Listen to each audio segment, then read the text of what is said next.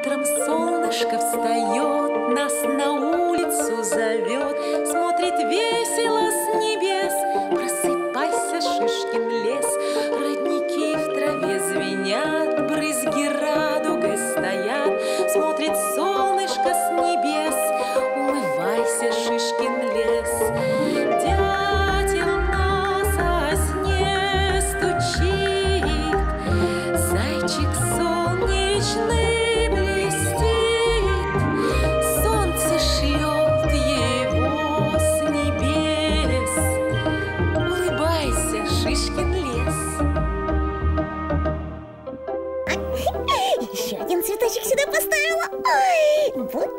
букет получился. Загляденье.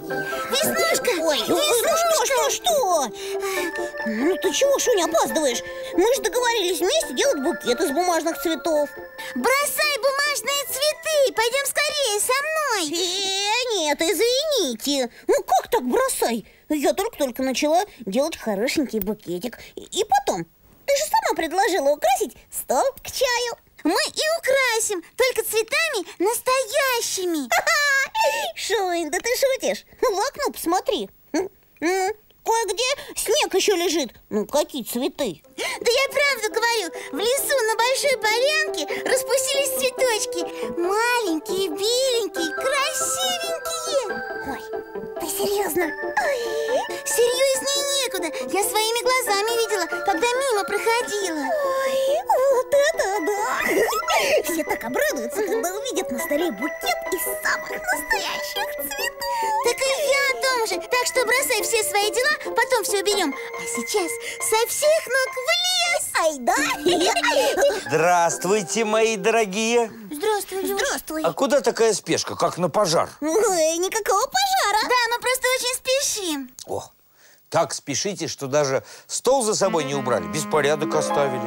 А а мы уберем только потом. Да, мы сейчас, Лёш, и правда очень Да спешим куда вы спешите-то? В лес на большую поляну. Да, там на проталине цветочки распустились Вот мы и хотим огромный букетище набрать Ага, и стала красить всем на радость. Цветочки, говорите? А как они выглядят? А, я не знаю, их что не видела. Говорит, красивые. Ага, стебель и листочки, они такие нежные-нежно-зеленые А цветочек чуть вытянутый и такой белый-белый-белый Растут себе на проталинке, а рядом снег лежит Я все понял. Как хорошо, что я вас вовремя остановил. А, я не поняла. Что значит вовремя остановил? Цветочки эти рвать ни в коем случае нельзя. Почему?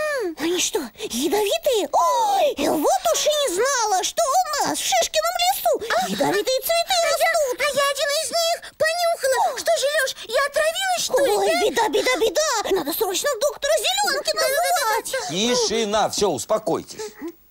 Никакого доктора звать не надо, и цветы эти вовсе не ядовитые, из чего вы взяли. Ура! А я-то думала, что отравилась А, а раз они не ядовитые, то почему их рвать нельзя? Да, вот именно, почему? Просто они занесены в Красную книгу. В красную? Э, Это в какую красную? У меня дома есть несколько красных книг э, э, со сказками, со стихами. Нет, нет, вы меня не поняли. Красной книгой называется такая специальная книга, куда внесены все редкие животные растения, которые скоро могут исчезнуть с лица земли. И вот эти цветы, они называются подснежниками, как раз в этой книге. А на полянке-то их так много растет И если мы один единственный букетик нарвем, да там же еще останется А если каждый нарвет, как вы говорите, один маленький букетик, тогда подснежники просто-напросто исчезнут и перестанут нас радовать весной. Никогда, никогда Ой, Вот именно ой. И таких редких цветов у нас довольно много. Вот посмотрите, вот ваши подснежники. Да, Красивые, правда? очень А вот прострел. Да, его тоже рвать нельзя. А вот белоцветник.